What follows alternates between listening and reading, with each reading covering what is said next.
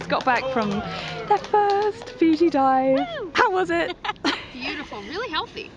Yeah, it was Really awesome. healthy reef. There were a lot of fish, lots of healthy coral, which is kind of not a thing that's Yeah, typical not these something we often see. And we saw some jumping Joshes underwater. Pay no attention to the professor in the foreground. Oh my god.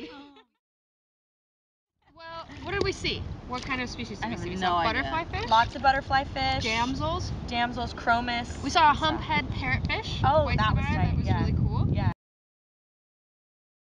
What were the um, the little blue guys that like hide in the like spindly red ones? Oh, those are chromis, I think, Yeah. They're right? really pretty. Those are a All, form they're like in a damselfish. big group, Yeah, right? and then like, they go inside. in. Yeah, yeah, those are really cool. chromis. They're I really like tight. There were quite a few moments where we were sort of hovering over the reef after the dive when we were just snorkeling around that looked like something you would see in a BBC documentary. You Yeah. know, like you could just sort of do the, oh, look, here I am, like soaring over the reef. Which is, you know, pinch yourself, reality check.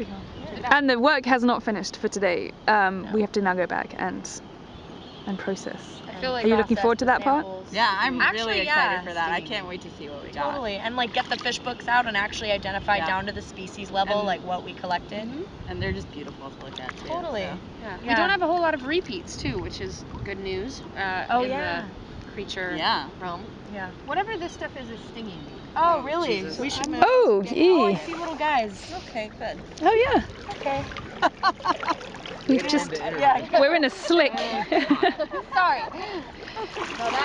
I should have said it. at any point if you're feeling uncomfortable, if you're being eaten or bitten or stung, just say and we will we'll halt the interview.